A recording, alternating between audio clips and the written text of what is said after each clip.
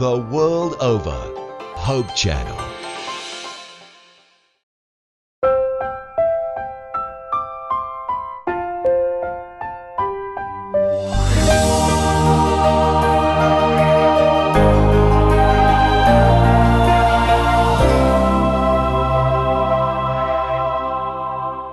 Isang magandang araw po sa inyo lahat, mga minamahal po namin mga kaibigan.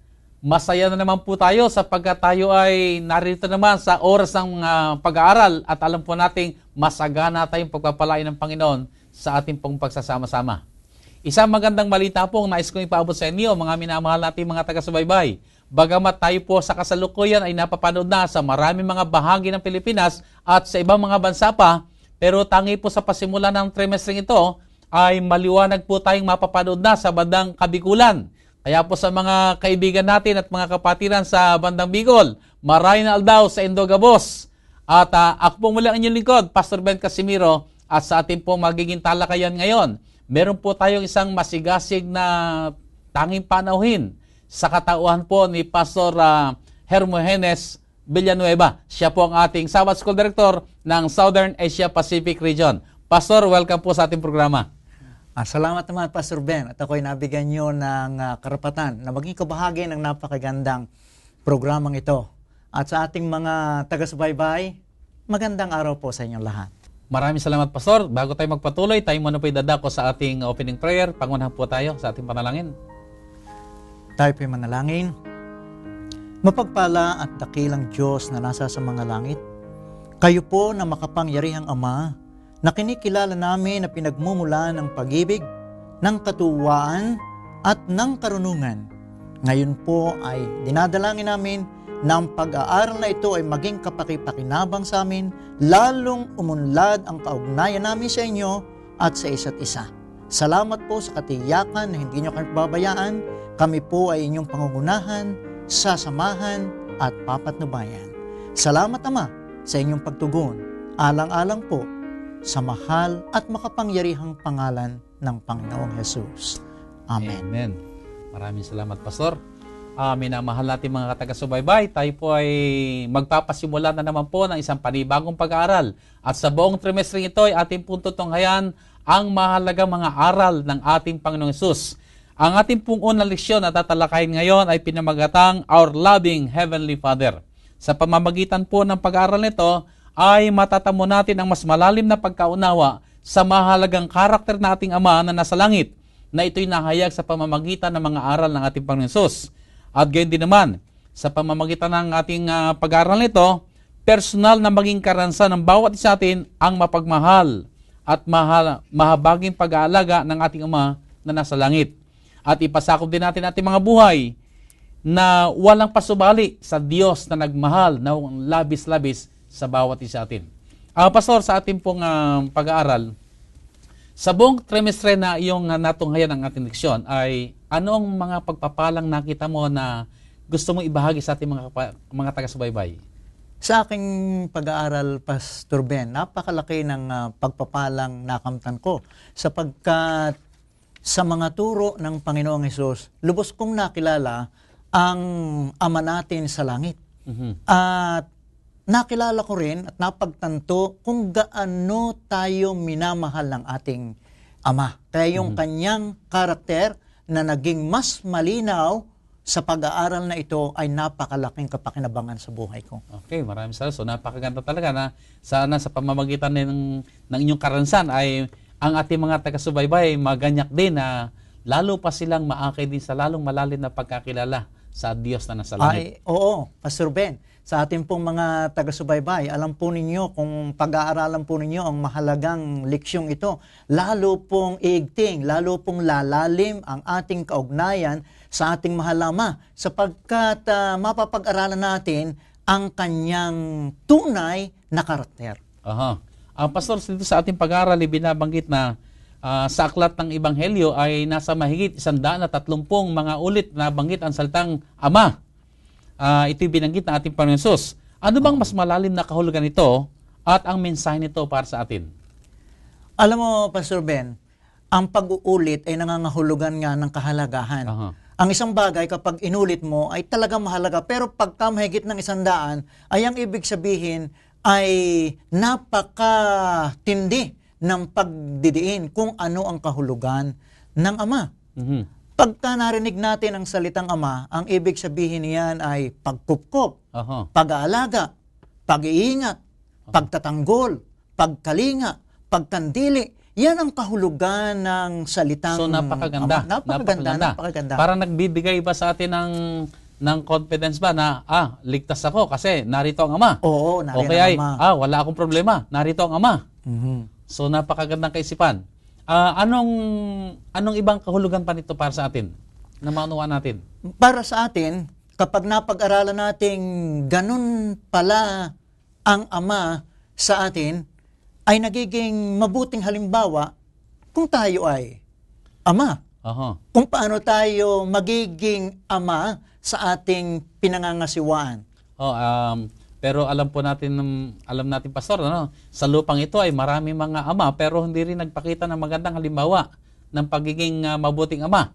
So, sa ganitong pagkakataon ay ang titingnan natin ay yung magandang halimbawa. Yeah, oo nga. oo. Ah, kagaya na nabanggit mo ay ah, yayamang nakita natin ang magandang karakter at katangian ng ating ama na nasa langit ay ito'y hamon din sa ating mga ama. Tayo, tayo Oo, mga ama no oo. na kung tayo man ay may mga pagkakamali pagkukulang ay sa pamamagitan ng pag-aaral nito ay mahamon tayo sa mga paglago na lalo pa tayo maging mabuti rin mga ama sa ating mga anak Tama sapagkat yun. pinakitaan tayo ng ating amang nasa langit na magandang halimbawa, kung Halimbawa. paano mangalaga sa kanyang mga anak. Ayun. Ah, Pastor, sa pagpapatuloy, ang Diyos ay pinakilala ng Panginoong Sus bilang ating Ama sa langit. Anong layunin niya sa ganitong pagpapakilala sa Diyos? Ang sa aking pag-aaral ay ang alam kong layunin niya kung bakit siya kumatawan sa Ama at ipakilala kung sino talaga ang Ama ay upang magkaroon tayo ng wasto o tamang pananaw kung sino siya at nang magkaroon din tayo ng tamang kaugnayan sa Kanya. Ah, ah, so ibig sabihin eh, ah, dalawang punto yung binanggit mo ngayon. Hmm. Oo. Isang magandang pagkakilala sa Diyos Oho. at yung may relasyon. Oho. Kasi pag sinabi natin, pwede naman kasi sabihin na ang Diyos ay ganito. Pero Oo. bakit ginamit yung yung bang relasyon ng ama at saka anak? Mhm. Ay di pinapakita rin dito yung magandang magandang pagsasama ng Mhm. mag-ama. At the same time ay pinapakita yung magandang ugali ng ama na, na siya respons- responsable sa kanyang oh, anak. yan, oo, responsable. Kasi ang ang ama, ang ibig sabihin niyan ay ah, ikaw ang tagapag-alaga at tagapaglaan ng pangangailangan ng iyong mga supling o ng iyong mga anak. Yun ang Aha. kahulugan talaga ng ama. Okay, maraming salamat, Pastor. Hmm. Okay. Alam mo, Pastor, eh, dito sa ating ah, talatang sa uluhin, makita natin sa unang Juan, Kapitulo 3, talatang 1, maganda siguro ating balikan sumandali. O sige, Um, pa- pakibasa mo ng talata. okay, ganito ang wika. ng talatang yan, Pastor Ben. Sa aklat ng unang Juan, Kapitulo 3, talatang 1, ganito ang wika.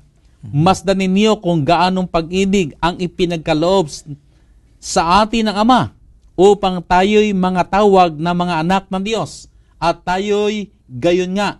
Dahil dito'y hindi tayo nakikilala ng salimutan sapagat siya'y hindi nakilala nito.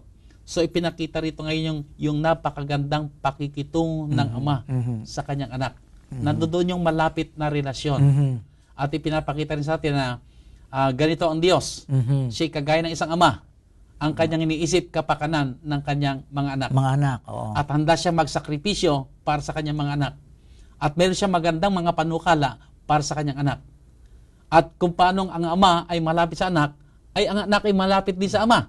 Ay, kasi, di ba, kuminsan ay may mga anak tayo na kuminsan ay gayon na lamang yung pagtitiwala, no? Na pagka dumating tayo ay, kung halimbawa medyo mataas-taas yung kalagayan, ay gustong tumalon.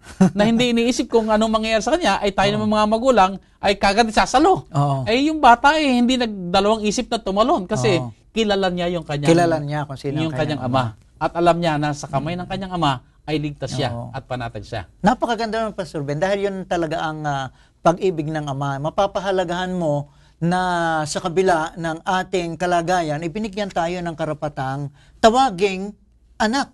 Aha. Yung ganong uri ng Ama at tawagin tayong anak Aha. ay napakahalaga noon. Pastor. So, gumagawa ng malaking kaibahan kasi daman natin yung hin- yung kasabihan nga ngayon, hindi ka na others, ano? Oo, hindi ka na oo. ibang tao kasi Hindi ka na. ah, tinitingnan na tayo rito mga anak. Oo, kabilang Diba? ka. Ay, kuminsan nga tayo, pastor, eh, di ba? Pagka yung ah, may mga pagtitipon tayo at may mga nakakatanda sa atin, ay tinatawag tayong anak. Ay ba, Oo. para bagang medyo, yung ating kalooban ni medyo nati, nakikilos ba na pakiramdam natin eh, mahal na mahal naman ako ng tao rin Oo, na napaka, napakabait sa akin na tinatawagang anak. Mhm. Ay ito, yun isang malaking karapatan na.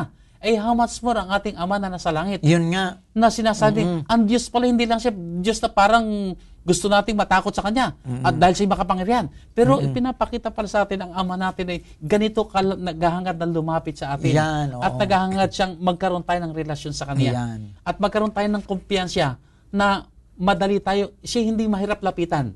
Kasi siya ating kagaya ng amang kung ano man ang gusto natin sabihin ay maaari natin ipahig sa Kanya at nariyan lang siya. Napakagandang puntos niyan, Pastor Ben. At Okay, napakahalagang pag-aralan. Ah, anong ang diwan na pinapaabot sa atin, ah, mga ama, dito sa lupa, kung paano natin ilalarawan ang karakter ng ating ama na nasa langit? Nakita na nakita na Oo. natin ngayon ang, ang modelo, ang ang saloobin ng ama, ang kanyang karakter, pero anong hamon ang gagawin nito sa atin, mga mga ama dito sa lupa? Sa mga ama na taga-subaybay natin, may isa pong napakalaking hamon para sa atin. Bagaman nabanggit kanina ni Pastor Ben na yung pong mga karanasan ng ibang mga anak ay hindi maganda sa pakikisama ng kanilang ah, mga ama. Gayun pa man ay meron naman tayong ideal at sa pag-aaral natin ng tungkol sa ama natin nasa mga langit ay ang Diyos ay mapagpahinuhod mapagpatawad. Siya pa nga ang nagkusang ah, lumapit sa atin. At siya ay mayroong malaking pagmamalasakit para sa kapakanan ng kanyang mga anak. Kaya ito yung hamong aking nakikita, Pastor Ben, Oo. para sa mga ama. Ibig sabihin, tularan natin Tularan ang ating, natin, ang no? ating Diyos. Yayamang nakita natin kung gaano, sabi nga ng ating memory verse ay, ah, masdan natin kung gaano kadakila ang kanyang pag-ibig na ginawa sa atin.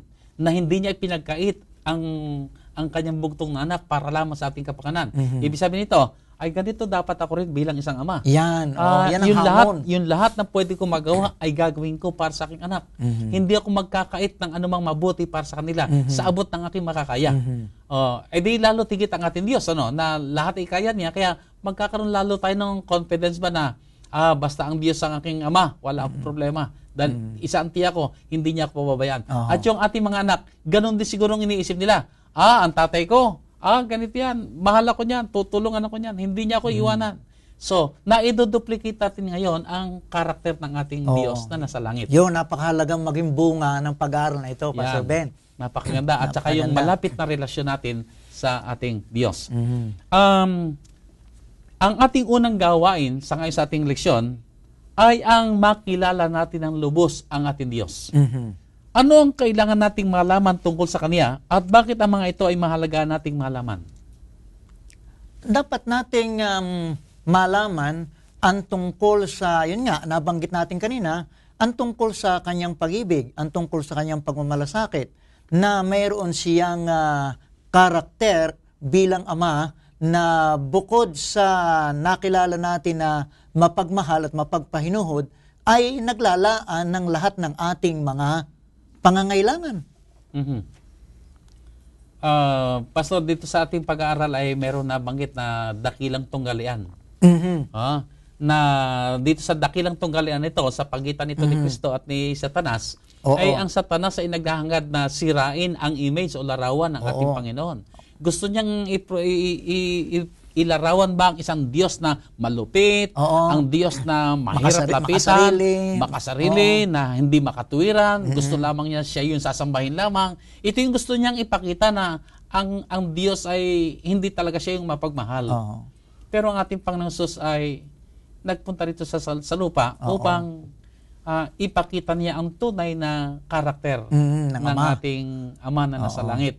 At yun ang pinakamaganda talagang paraan. Oo. Ang sabi ngayon, madaling sabihin, pero iba yung nakikita. Mhm. So, ang ating Panginoon Jesus ay ah, isinugo ng Ama dito sa sanlibutan upang kung magkagayon, sa pamamagitan ng kanyang buhay at ministeryo, maipakilala sa, sang- sa sanlibutan Oo. ah, kung sino ang ating Ama na nasa langit. Ayun. Na siya ay hindi yung makasarili at hindi siya yung malupit, Mhm. ah, kundi siya ay punong-puno ng pagmamahal at ang kanyang hangarin ikaliligtas ng bawat mananampalataya. Okay. Okay. Napakaganda.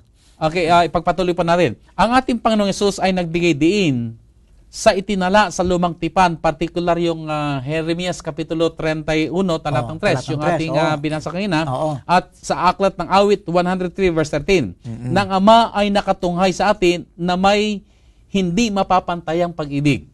Ano ang mga katibayan na ibinigay ng Ama upang maipahayag ang kanyang pag-ibig?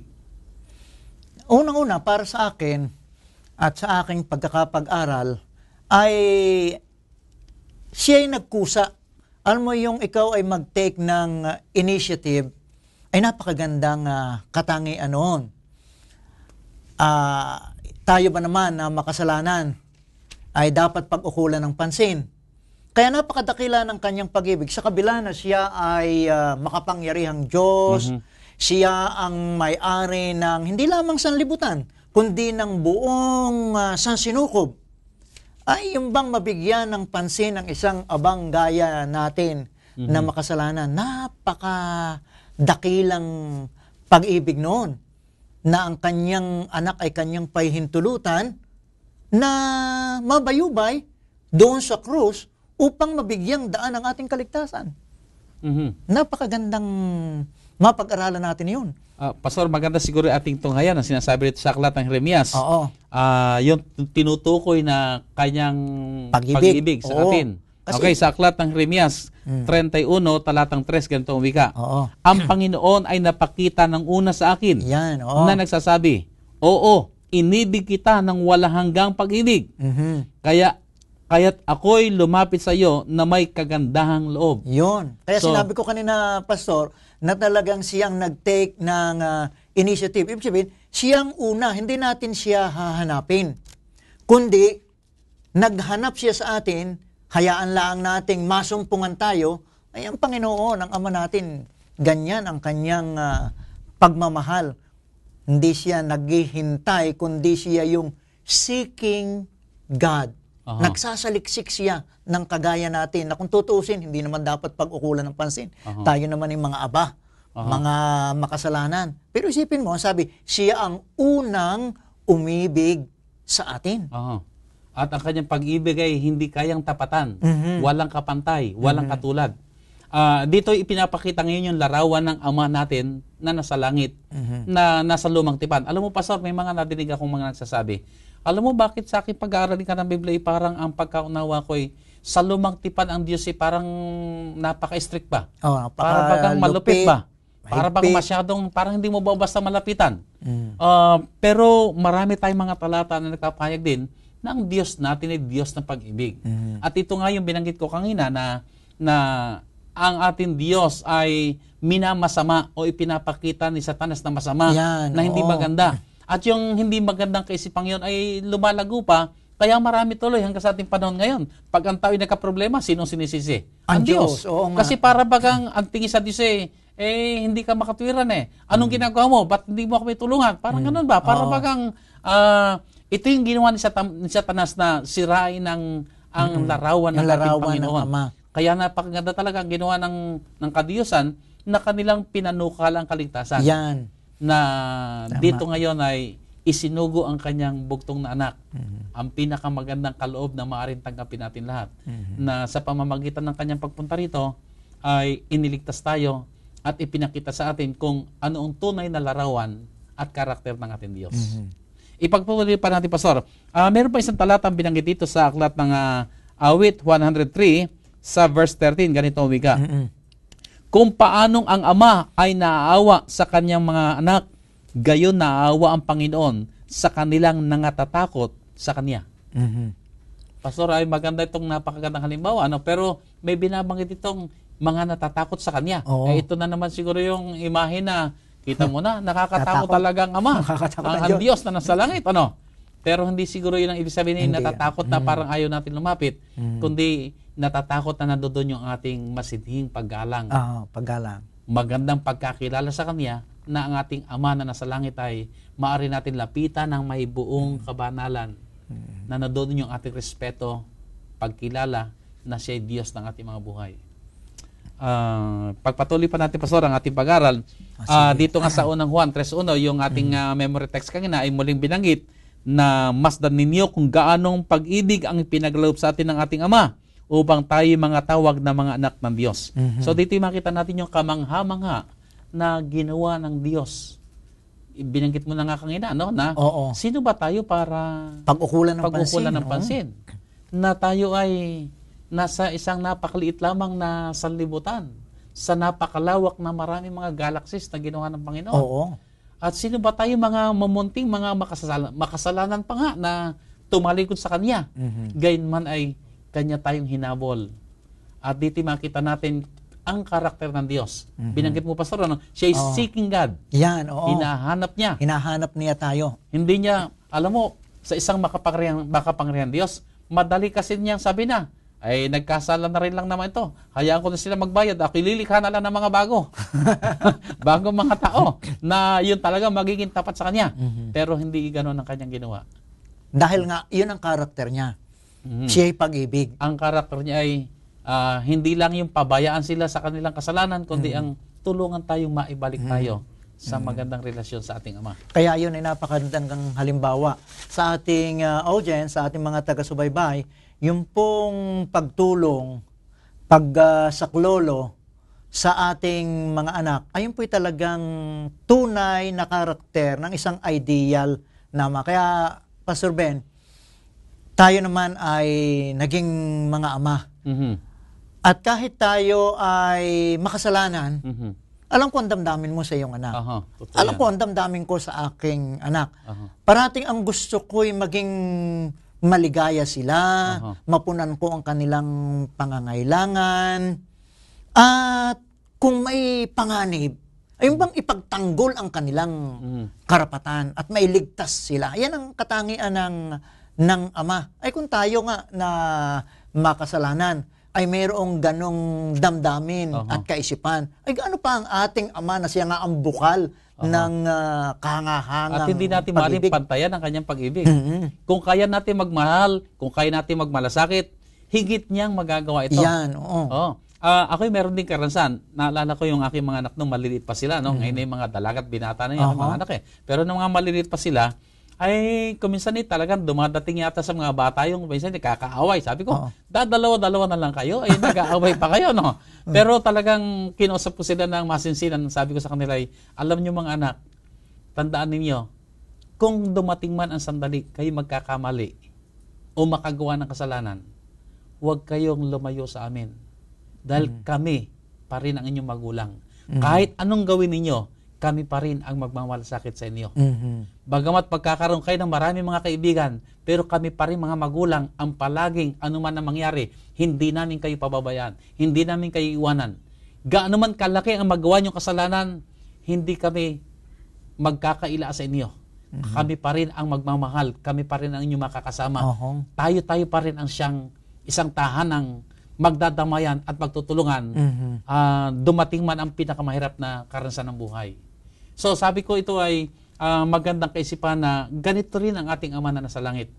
Dumating man sa buhay natin yung talagang sabi natin nakagawa tayo ng napakalaking kasalanan, walang napakalaking kasalanan hindi kayang patawarin ng Diyos. Amen. Napaka gandang um, lubos na mapag-unawa ang ganong uh, katangiang inilarawan ng kabuhayan at ministeryo ng Panginoong Jesus. Yan ang Oh. kanyang turo. Oh, at uh, nabanggit mo nga kanina, ah, kung tayo magkasala, ang Diyos pa rin ang una pating lalapit sa atin. Ha- hahanap. Siya yung hahanapin Haha- tayo kasi hahanap. pagka tayo nagkakamali, meron tayong tendency kumisang lumayo, Lumayo, muna, oo. lumayo, magtago, Mm. ah, nahihiya tayo sa Diyos. Pero sa ganung mga pagkakataon, ang Diyos mismo at ang kanyang kabutihan ang aakay sa kanya, sa atin, pabalik sa kanya.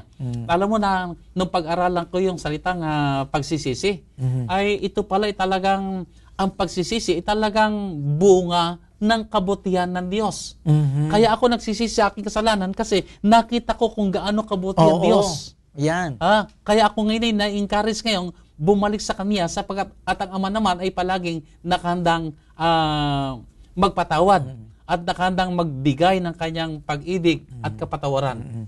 Kasi yung, yung pagsisisi ay kapasyahan, Pastor Ben, na iwanan mo yung mga dati mong ah, ginagawa dahil nakilala mo yung kabutihan, kadakilaan ng nagmamahal sa iyo na ama. Kaya pagsisisi nga, mo, bakit ko ba nagawa yun? Hindi ko na ito gagawin. So, ang kapasyahan na huwag mo nang gawin ang dati mong ginagawa, yun ang tunay na pagsisisi sapagkat napapahalagahan mo ang pagmamahal ng Ama. Okay, Pastor, sa bahagi ng ating ah, pag-aaral, ano? Dito sa aklat ng Lucas, Kapitulo 15, Oo. alam natin dito nakapaloob yung alibugang anak. Ano? Oo, oo, yung parable. Mm-hmm. Ah, oh, parable ng ah, alibugang anak. Ito'y makita natin sa talatang 11 hanggang 24. ah, paano nilarawan ang pag-ibig ng Ama sa alibugang anak at paano ang bawat isa sa atin sa anumang kaparaanan ay kagaya ng alibugang anak. Pastor, ito'y napakagandang ating talakayin. Pero bago tayo magpatuloy, ay bigyan muna natin ng pagkakataon ang isang paalala at tayo po ay magbabalik dito sa ating programa. Presenting the best news in the world. You're watching the Hope Channel. Tayo po ay nagbabalik dito sa programang Oras ng Pag-aaral. Pastor, kanina po ay aking binangon yung ah, katanungan na paano inilarawan ang pag-ibig ng Ama sa libugang anak o prodigal son. At paano ang bawat isa sa atin sa anumang kaparaanan ay nagiging katulad din noong ah, prodigal son.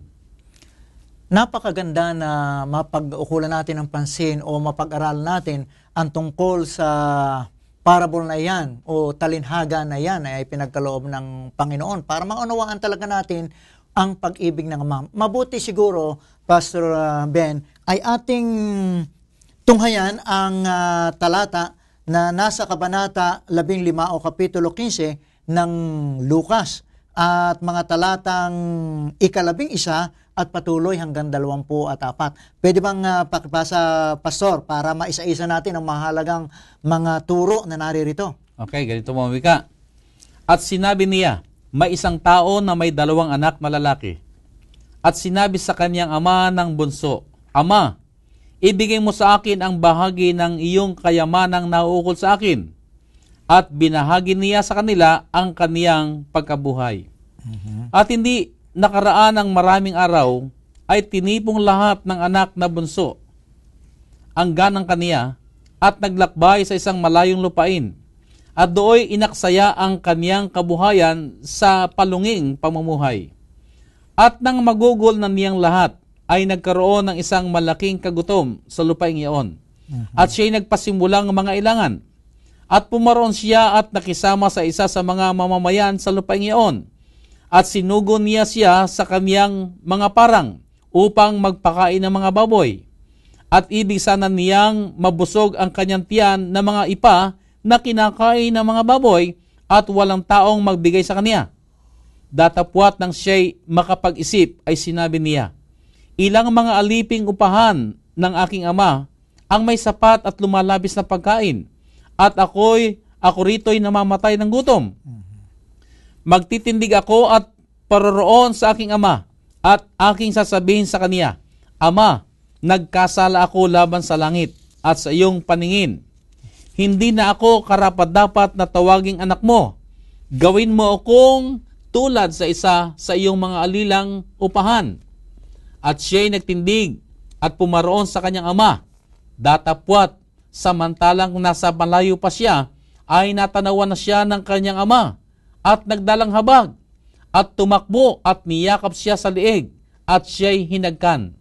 At sinabi ng anak sa kanya, Ama, nagkasala ako laban sa langit at sa iyong paningin.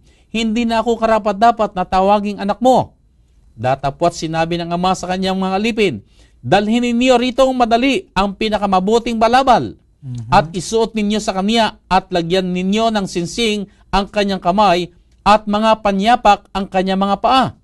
At kunin ninyo ang pinatabang guya at inyong patayin at tayo magsikain at mga katuwa sapagkat patay na ang anak kong ito at muling nabuhay.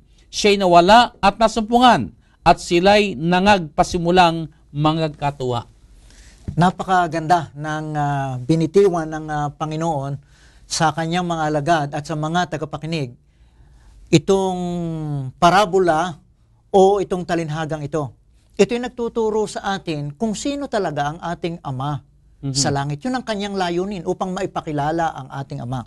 Sa katangian, na alam mo, Pastor Ben, sa mga anak na may mga sariling agenda, mayroon silang mga sariling plano, may kagustuhan, ay sa ibang mga magulang ay pakikialaman. Pero kung ikaw ay mayroong gustong gawin, kagustuhan yan, ang ama pala natin sa langit, sa paglalarawan dito sa mga talatang ito, ay hindi yung larawang ikaw ay kukontrolin. Mhm. Ibig sabihin, Binibigyan niya ng layang pumili. Meron kang kalayaang pumili. Yan ang mapakagandang Mm-hmm. ah, katangian. Marahil sinabi rin mo na ng ating Panginoon ang magiging kahinatnan, pero Oo. hindi niya kukontrolin, kundi ikaw pa rin ang magpapasya. Oh, at maraming amang ganyan. Sa ating audience, meron po tayong mga ama na kapag ka ang anak ay mayroong kagustuhan, ay ang sasabihin ay, hindi maari, ako ang ama dito sa tahanang ito. Yun, Pastor Ben, ang kalimitang napapakinggan natin Oo sa mga Ah, totoo sa mga yan. ama. Hmm. Ay, may nadidig pa tayo kuminsan na, hanggat ako ang nagpapakain sa'yo, ako ang masusunod dito. oh, yan nga. Yan ang ah, mga katangian na nakikita natin sa mga. Pero dito, sa paglalarawan dito, ay nagbibigay laya siya kung ano man ang iyong ah, pinaplano. Ngunit, ako'y naniniwala na dahil siya'y mabuting ama, ay hindi naman niya sinasabing, ang plano mo ay hindi mabuti, bahala ka sa buhay mo. Oho. Hindi naman uh, ganon. Kundi, anak, ito ang ibig mo, hindi kita pipigilan, ngunit may paalaala ng mga maaring maging bunga na o kahihinatnan ng kanyang mga hakbang. At marahil siguro yung anak dito talagang porsigido, kaya Yan, hindi talaga oo. mapigilan ha. Kaya talagang siya ay pinahintulutan na ng ama. mm Nagpipilit. Ngayon, sa mga iba pang mga puntos na mahalaga, dito ay may dalawang anak ito, itong amang ito. Mhm. Pero, hindi inisip ng ama na itong isang ito, ganitong gagawin ko. Itong isang ito, ganito ang gagawin ko. Yung bang sa kasalukuyan ay makita natin na may mga amang may paborito, Mhm. Merong kapag medyo gwapo ay mas iba ang pagtingin. Kung dalawang anak kasi mas gwapo siya hindi, ay sabi, ito mas mana sa akin. Kaya ito ay aking ah, pagbibigyan. Hindi ganun ang ah, larawang ipinakikita dito.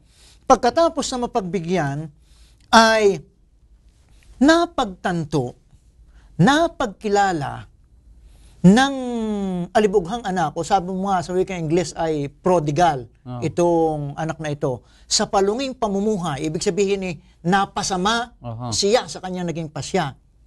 Alam mo ang kanyang nag, ang nagbalik sa kanyang isip, hindi yung tungkol sa kanya, kundi yung tungkol sa ama. Ang naisip niya, hindi ito nangyayari. Kahit sa mga alipin ng aking ama. Mhm. Bakit hindi ako magpasyang bumalik? Kung ako'y magpapasyang bumalik at maging alipin man lang, kung gaano kabuti ang aking ama sa aming mga alipin, gaga- gagawin niya yun. Mhm. Kaya sabi niya, babalik ako. Kaya ang pagbabalik, pastor, ay hindi sa dahilang ah, mabuti na siya o kaya ay ah, ang ama niya ay mas mabuti na ngayon, kundi talagang simulat sa Paul ay siya ay mabuti sa anak at naglalaan ng pangangailangan ng kanyang mga anak. Pastor, Mm. maganda yan. Mm-hmm. At nung siya magbalik, nakita natin ang magandang larawang ipinakita ng ama. Yun, ang mahalaga Ah. pang puntos dyan. Pastor, Ah. isipin mo nung dumarating, dahil nagpasya nga, balik. Di ba nabanggit ko rin kanina sa ating talakayan na ang ating ama ay siya ang humahanap? Mhm. Alam mo, doon sa larawang yon malayo pa. Pwede namang ah, sabihin ng ama, bahala siya. Lumapit siya sa akin. Lumapit siya sa akin. Total, siya nagkamali. Siya nagkamali. Siya lumapit sa akin. Siya lumapit sa akin. Ay, ay kuminsan na iba pa nga sabi ng Oo. iba eh. Sabi niya, ba't nagbalik ka pa rito? Oo nga. Eh, pero itong amang ito'y malayo pa. ang, ang sabi sa aming salita ay, sumugod na. Aha. Ibig sabihin, tumakbo, nilapitan niya, at ipinakita yung kanyang pag-ibig. Alam mo, yun ay pagsusuko, pagpapakumbaba. Oh. Ito'y isang ama na pagka ang anak ay nagkamali ay hindi sinasabing, ako, hindi ako nagkakamali. Oh. Dapat ay ang amay marunong ding ah, Mag-sorry. ma- ma- ma- mag-sorry. Oo. Mhm. Ay, ay yun ay talagang ah, kahit sa amin ay nadidinig ko yung nadidinig ko sa ibang lugar ba na ay yung matanda ay talagang matanda. Yung magulang ay talagang magulang. Ibig sabihin, eh, kahit nagkamali yan, hindi mo sila pwedeng expect na mag-sorry. Oho. Pero dito ay pinakita ng ama yung yung tinanggal niya yung pride ba. Oo. Kasi alam mo, minabasa ko sa kultura pala ng mga parisyo nung panahon na yon, Oo. ang isang ama ay hindi lalapit sa anak Yun o sa salubong Oo. man lamang. Siya maghihintay talaga na lapitan siya ng kanyang anak. Yun ang kanilang Oh, kultura. Yun ang kultura. Mm. Pero dito nakita natin yung pagmamahal ng ama. Yung kasabikan bang hindi na niya inisip kung anong kung ano yung sasabihin ng tao na tumakbo pa man din siya. Mm-mm. At ipinakita niya yung kanyang kagalakan. So ganito isang magandang larawan ng ama. At may mga ginawa Mm. sa kanyang anak. Mayroon siyang ginawang utos na ipagkaloob sa nakinipagkilala Aha. na ikaw ay anak ko pa rin. Oho. Anak ko pa rin. O kasi bin- nakapanukala na kasi yung anak na ang wika niya eh. ah, sasabihin na niyang sinikasala at ituring na lamang siyang isang alipin. Oo. Pero hindi yun tinanggap ng ama. Hindi tinanggap ng ama. Sinabi ng ama, lagyan siya ng balabal. Mhm. Oh, lagyan siya ng Singsing. singsing. Lagyan siya ng tsinelas o pangyapak ang pagkakasabi sa Oh. Biblia. Oh. Ang ibig sabihin noon ay ipinasya mo na maging alipin. Ito naman ang pasyo ko sa iyo. Hindi kita itinuturing na alipin. Oo. Ito ang mga palatandaan na ikaw ay anak ko pa rin. Aha. Ang ganda niyan. Oh, totoo yan. Mm. Ah, Pastor, meron pa ako isang napansin dyan. Ano? Ah, nung dumating yung anak, sinalubong niya, niyakap niya yung kanyang anak. Mm-mm. Pero kung titingnan natin yung larawan kasi ng prodigal son, ay marumi ang kanyang kasuotan. Siya talagang galing sa lugmok na kalagayan. Oo. Sabi nating marumi talaga. Sabi na nating mabaho, ganon, na walang kaayusan. Na talagang isang pinabayaang alipin. Pero walang, hindi pinansin niya ng ama. Manakapay kanyang hi- niyakap. At Oo. hindi lang pala basta niyakap. At sabi pa, at siya hinalikan pa. Hinalikan, Oh, oo. ganoon ang kagalakan ng ama sa pagbabalik ng kanyang nawaglit na anak. Para mang pinakikita yung kung gaano talaga ang kaibahan ng ah, ating pagiging ama. Kung tayo may anak na nagbabalik na makasalanan, iba yung ating reaksyon. At yung sinabi mo, kung ikaw ba naman ay may anak na lumayo na sa iyo at ngayon ay Nagbabalik. ah, nagbabalik at pagkatapos ma- mabaho na, ay ayakapin mo ba? Di sasabihin mo, yan, ang nangyari sa iyo. Lumayo ka sa akin, napakabaho mo. Ay, ay alam mo pastor ay talagang masakit pero ito yung nangyayari talaga sa halimbawa sa aming probinsya ay halimbawa ay nagkasala yung anak. Hindi niya kayang bumalik sa kanyang ama. Kailangan may padrino pa siya. Oo. Halimbawa, pupuntahan mo na yung yung uncle o pupuntahan mo na si barangay captain para sasamahan yung bata. Amuin yung ama. para amuin yung ama. Na talagang ayaw siya halos har- harapin. Oo. Ay ito sigurong kulturang ito eh, parang talagang iba doon sa ipinapakita ng ating ama na nasa langit na hindi ganoon. Kundi Mm-hmm. ito ang magandang halimbawa na noong nagbabalik ng anak na nagkasala, nandoon yung kasabikan ang Yan. anak ay patawarin. Mm. At siya'y muling tanggapin. At siya'y pakitaan ng magandang pakikitungo na wari bagang ang anak ay hindi nagkasala. Oo. Ito yung napakagandang halimbawa sa atin bilang mga mga anak, ah, bilang mga ama sa ating mga sa ating mga anak. Oo. At tayo naman din, alam natin ganito rin ang ating Diyos sa bawat isa atin. Pastor, tayo naman lahat ay nagkakamali. Mm-mm. At kuminsan ay nagkakagawa ng mga pasyang hindi mabuti. Mm-mm. At kuminsan ay talagang sabi natin nagkakasala. Pero kung mapipicture natin sa ating isipan ang ang parable na ito ng prodigal son, ay makikita natin walang dahilan para tayo hindi bumalik na muli sa Ama. Yan, oo nga. So kung tayo man ay magkasala, at yun ay mababasa din natin sa banal na kasulatan, ayaw na niyang tayo magkasala. Pero ang wika ng banal na kasulatan, subalit kung ang sino man ay magkasala, meron tayong tagapamagitan, ang ating Panginoong Yesus. Ibig sabihin ay, huwag tayong mangiming lumapit na muli. Dahil ang Ama, ang kagalakan niya, ay yung tayo magbalik. Yan. Hindi yung kaisipang nagkasala ko, galit na sa akin ng Diyos, Oo. hindi na niya ako tatanggapin. Yan nga. Hindi ganoon. Ha? Yun ang ginawa ni Satanas. Oo. Ipakita niya ang image ng Diyos na malupit, na hindi makatwiran, na mahirap lapitan. Pero narito nga ang ating Panginoon Jesus ngayon. Oo. At sa pamamagitan ng kanyang mga aral, ay itinuturo sa atin Mm-mm. ano ang katangian, ano ang karakter ng ating Ama.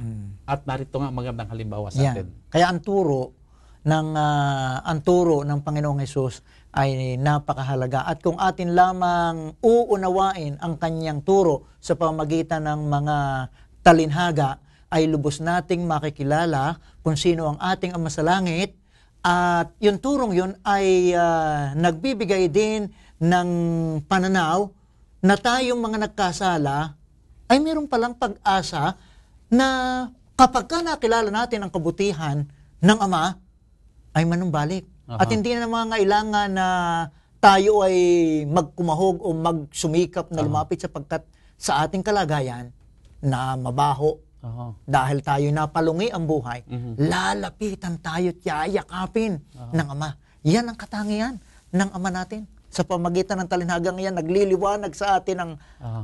At yun Ng ang karakter at ng yun Ama. pastor ang layunin ng ating leksyon ngayon na ipakita sa atin ang tunay na karakter ng ating Ama. Mhm. Alam mo pastor, mayroon pa ako isang paborito ng awit eh na ang sabi ron ay wala kang magagawa para ibigin ka ng Ama. Oho. Dahil kahit anong gawin mo, mahal ka talaga, Mahal ka ng, talaga ama. ng Ama.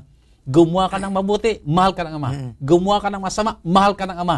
Wala kang pwede idagdag doon. Oh, wala kang pwedeng gawin Wala kang pwedeng na ikaw gawin. hindi mamahalin. Yeah. Yan. Mamahalin ka ng Diyos. Mm. At ang kanyang pagmamahal na ito, ang uudyok sa ating tayo lumapit sa Kanya. Oo. At tayo ay, kung magkasalaman tayo ay, huwag na tayo magpatampo-tampo. Mm. Huwag na tayo maging nanakit. Ano? Huwag na tayo mag-isip ng hindi maganda sa Ama. Na ang ating maging kaisipan, kagala ka ng Ama, Mm. ang tayo manumbalik sa Kanya kung tayo man ay napawaglit.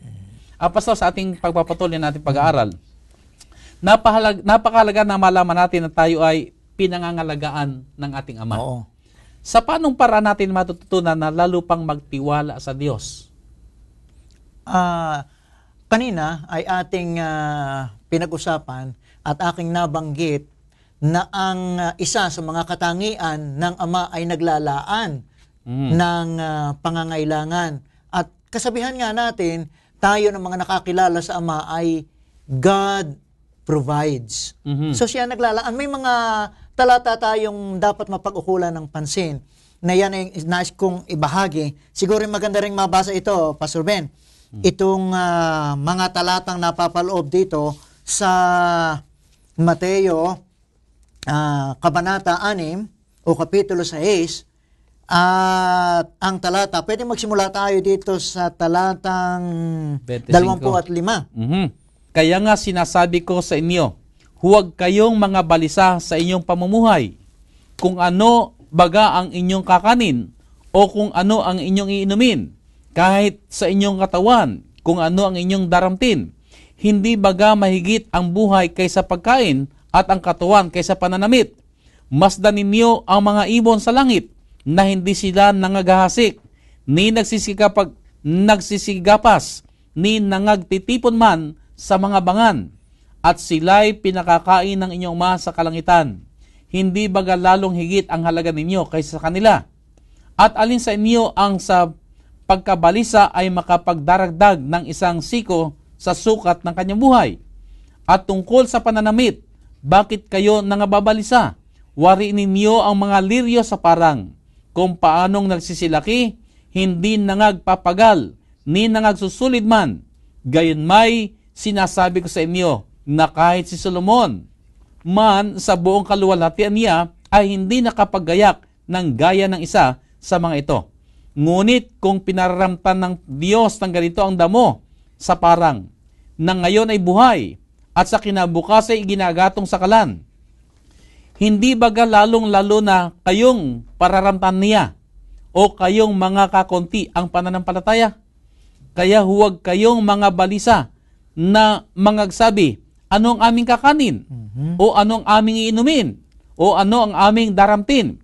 Sapagkat ang lahat ng mga bagay nito ay siyang pinaghahanap ng mga hintil. Yamang talasas ng inyong ama sa kalangitan na kinakailangan ninyo ang lahat ng mga bagay nito. Datapwat, hanapin muna ninyo ang kanyang kaharian at ang kanyang katuwiran at ang lahat ng mga bagay nito ay pawang idaragdag sa inyo. Kaya't huwag ninyong ikabalisa ang sa araw ng bukas sapagat ang araw ng bukas ay mababalisa sa kaniyang sarili. Sukat na sa kaarawan ang kaniyang kasamaan. Oh, maraming salamat, Pastor Ben, sa iyong pagkabasa ng mahalagang ah, talatang ito. Sa iyong tanong na paano ba natin na mapapahalagahan ang kanyang pag-aalaga. Dito sa mga talatang ito ay mabibigyang linaw kung papaano ang ating ama naglalaan. At binanggit ko na rin yan kanina Mhm. na ang katangian ng ideal na ama ay yung responsable ka. Mhm. Kaya alam mo, Pastor, pag ako'y nagkakasal, kapag ka may lumalapit sa akin ah, na lalaki at ang sabi si mag-aasawa na, ang una kong tanong ay, anong edad mo na? Minsan ay, napakabata pa. Ang kasunod kong tanong ay, may trabaho ka na ba? Mhm. Minsan ang sagot sa akin ay, wala pa pastor, maghahanap pa pagka kami kasal na. ay, mahirap. Sabi ko, Oo. bata ka pa. At saka wala ka pang trabaho. Ang ama ay responsable. Siya ang naglalaan ng pangangailangan Mhm. ng kanyang sambahayan. Aha. Ganyan ang larawan ng isang ama. Nagkukup-kup na ama. Alam niya kung ano ang dapat kahihinatnan ng kanyang sambahayan. Mhm. Kaya, dito sa talatang ito, ay pinakakain ng Panginoon ang lahat niyang nilalang. Aha. Wala palang dahilan kung bakit tayo mababalisa. Mhm. Yung lumapit din sa akin, Pastor, ang sabi sa akin, ako'y balisang balisa, Pastor, ang laki ng problema ko. Dahil walang pantuition Mhm. yung aking anak. Ang sabi ko, ako na may mapagbiro, Pastor, pag nasagot, ang, ang tanong ko sa kanya ay, pag ikaw ba'y nabalisa ay magkakaroon ka ng pantuition? Ayun nga, Pastor, eh, lalong hindi ko lalong hindi ko maintindihan dahil ako'y balisang-balisa. Sabi ko ay ganito, sampalatayanan natin na ang ating Ama ay naglalaan. Kami nanalangin. Mhm. Alam mo, Pastor, nung kami makapanalangin, lumiwanag ang kanyang isip. At ang sabi niya, alam mo, Pastor, naisip ko, kung mayroon lamang ah, magpapatahi, ako'y marunong manahi. Nagluwanag ang isip ko na maaari akong kumita. Ay sabi ko, tamang-tama. Mhm. Ako ang pangulo ng institusyong ito, kami rin may ipapatahing kurtina, nangangailangan kami ng marunong manahi Mhm. ay ikaw na ang kukuhanin namin. Mhm. Pastor, ang kailangan lamang pala, sabi niya, isipin na ang ama ay naglalaan, magliliwanag at hindi malulutas ang problema natin sa pamamagitan ng kabalisahan. Mhm. Ay kung yun yung ibon, Oo. ha? napapakain ng Panginoon. Yung liryo sa parang ay ang pagkakaganda, ibig sabihin nakakapanamit ng napakaganda. Mhm. Ikaw pa naman, ang hindi pag-ukulan ng Panginoon ay ikaw ay higit sa lahat ng mga ninalang. Meron tayong kasabihan na, you are the crowning glory of God's creation. Kaya, sa mga aral na naririto, ang pinakamahalaga sa lahat ay yung naroon sa talatang 33. Mhm. Yung nagsasabi na, unahin muna natin ang kanyang kaharian at ang kanyang katwiran. Ano ba naiisip mong dagdag? Mhm. Kung may naiisip kang dagdag, ang sabi ay, at pawang idaragdag. Hindi lamang isang bagay, Mhm. kundi ang lahat ng mga bagay. Gaano kabuti ang ating Ama? Mhm. Nakilalanin lamang natin siya at hanapin ang kanyang ah, kaharian at ang kanyang katwiran. Yung lahat ng ating nasa isip na Idadagdag idaragdag, na lamang niya. eh sa atin. dadagdag niya, mapapasa atin. Pastor, napakaganda. Iyon ay isang pangako, Pastor. Kaya Pangako yan. nakita natin kung gaano kabuti ang Diyos. Mhm. Pero talagang sinasabi sa atin ay ito ang pamamaraan. Huwag kang mabalisa. Pero unahin muna natin ito. At yung mga iniisip mong nababalisa ka, Oo. idaragdag na lamang yan. Yan, Oo. oo. Ay kung minsan din nababalisa talaga tayo dahil hindi natin iniisip yung panukala ng Panginoon at yung kanyang pamamaraan. Pero dito makita natin kung paano ang Diyos ay napakabuti na siya ay nagkakaloob talaga. Hmm. Ah, Pastor, mayroon pa dito mahalagang katanungan. Kung ang Diyos ay Diyos ng pag-ibig, eh bakit ah mayroong mga pagdurusang nagaganap dito sa sanlibutan? Ah, sa totoo lang, Pastor, iyang ah, tanong na yan ay medyo mahirap pagdating sa aktual. Ano? Dahil isipin mo, ating ipinagdiinan ng maraming magagandang mga attributes o katangian ng ating Ama. Siya mapagkupkup, mapag-alaga, nagkakandili, napakabuti ng ating Diyos. Naglalaan ng lahat ng pangangailangan. Pagkatapos ay mayroong pagdurusa? Ay, yung tanong mo, medyo mahirap yan. eh. Kung itatanong mo ang titingnan natin yung ah, aktual na nangyayari Oho. na may mga sakit, Oho. mayroong mga salot, at iba't ibang uri ng kalamidad, nagdurusa ang tao. Pagkatapos sasabihin natin, pag-ibig ang Diyos, paano ba natin sasagutin nga ito? Pero Pastor, sa ating pag-aaral na ito, ay um, may pagdurusa dahilan doon sa naging bunga ng kasalanan. Aha. Kalimitan kasi ang reaksyon ng tao pag may pagdurusa, sinisisi ang Diyos. Oo. Ay nabanggit mo na nga kanina Oo. na ngayon ay mayroong malaking tunggalian, malaking labanan ng mabuti at masama.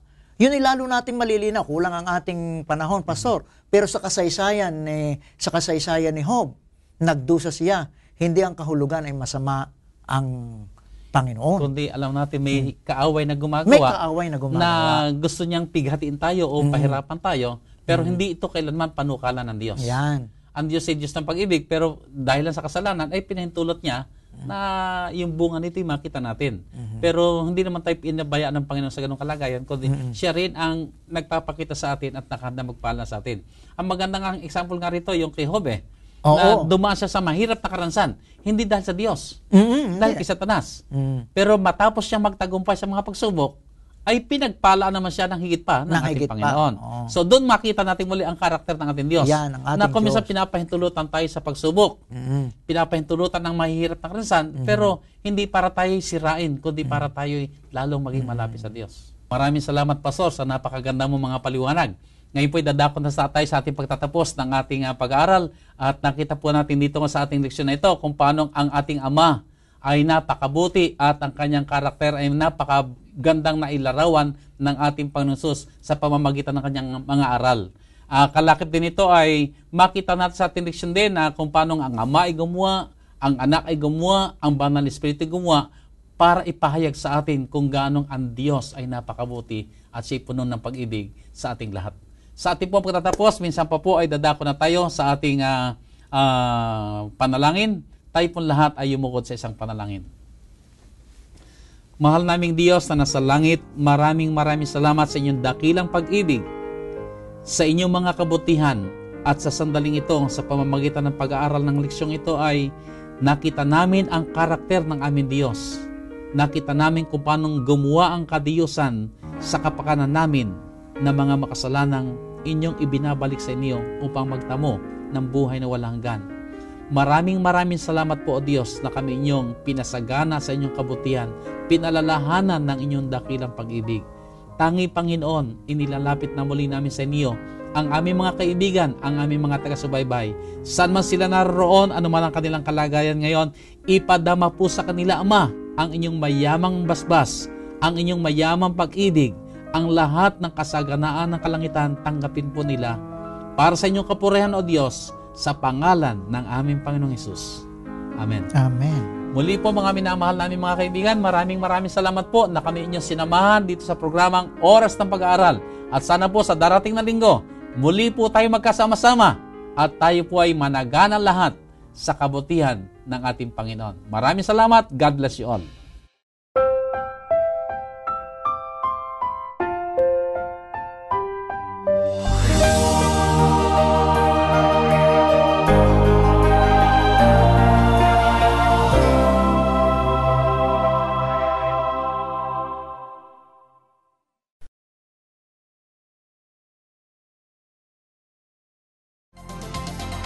Presenting the best news in the world. You're watching the Hope Channel. We are people and we love to get connected. We connect as families because of birth.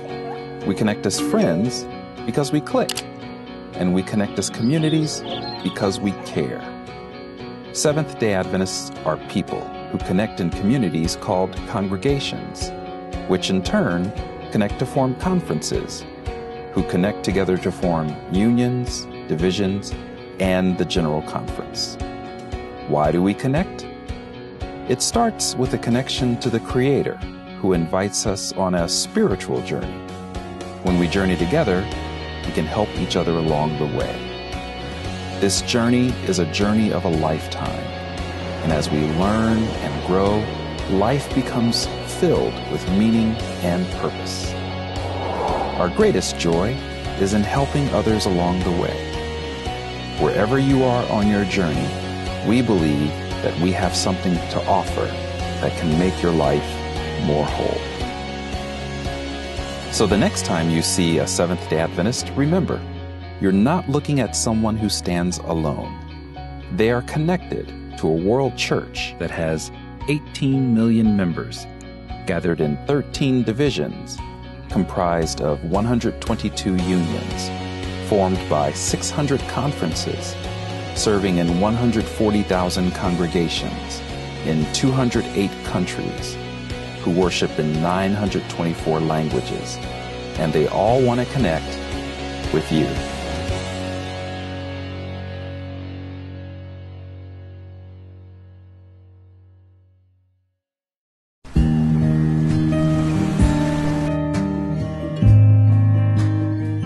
Every hour of every day, someone somewhere is praying for the outpouring of the Holy Spirit.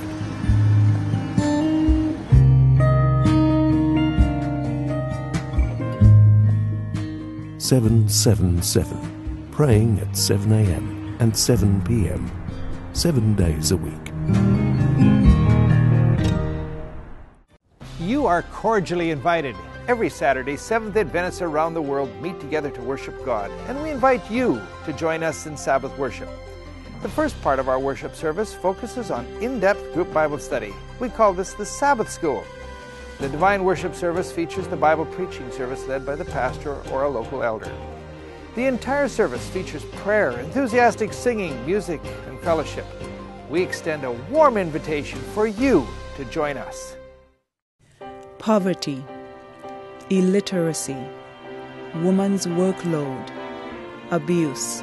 For every woman in need, there is comfort and relief. For every woman who needs healing, there's victory. For every woman in the world, there is a call to minister. Reach out, get involved. If we touch a heart, we can tell the world.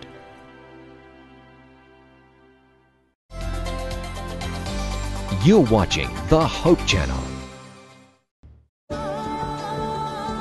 Family friendly, a global vision, and a holistic approach to thinking and living. Unlike any other media source on the planet. Welcome to Hope Channel.